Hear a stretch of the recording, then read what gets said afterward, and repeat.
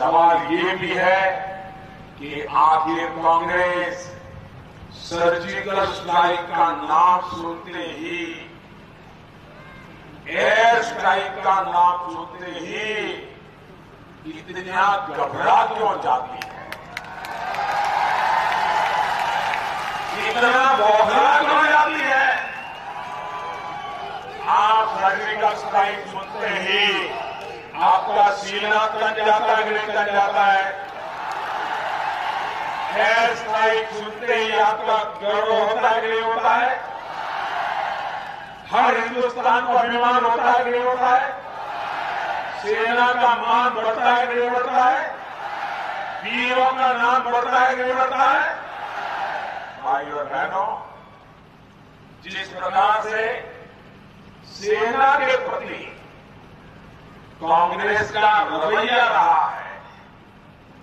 ये देखते हुए मेरा विश्वास पक्का हो गया है कि कांग्रेस को कभी भी देश की सेना पर भरोसा नहीं था। हमारे वीर सैनिकों के पराक्रम पर, उनकी शक्ति पर, उनके कौशल को हमेशा कांग्रेस ने कम करके था। उस पर उन्होंने संदेह किया। इसलिए कांग्रेस ने सेना को आतंकियों के खिलाफ कठोर कदम उठाने से रोका। उनको लगता था कि सेना को कहेंगे, करो, और उन्नीस सौ बासठ जैसा हो जाएगा तो फिर कांग्रेस की तो नैया हमेशा डूब जाएगी।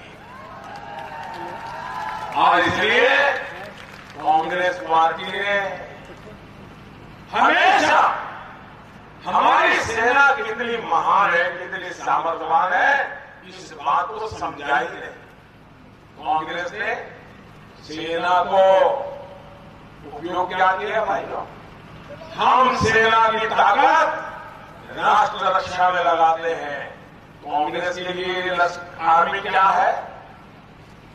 कांग्रेस के सेना क्या है? सिर्फ़ और सिर्फ़ उनके लिए ये कमाई का साधन है, कमाई का साधन।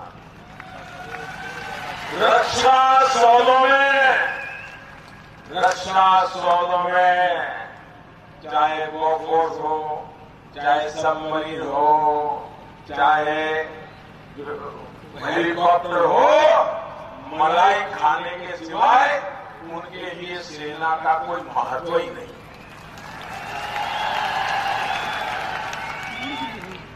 दूसरी एक बड़े, बहुत बड़ी वजह रही कांग्रेस वोट बैंक पॉलिटिक्स इसी पॉलिटिक्स की वजह से कांग्रेस ने हमारे वीर सैनिकों के साथ न्याय नहीं किया। देश के साथ न्याय नहीं किया। आज भी जब वो सर्जिकल स्ट्राइक पर सवाल उठाते हैं एयर स्ट्राइक पर सवाल उठाते हैं तो वो अपनी नाकामी छिपा रहे होते हैं, अपना वोट बैंक बचाने की फिराक में होते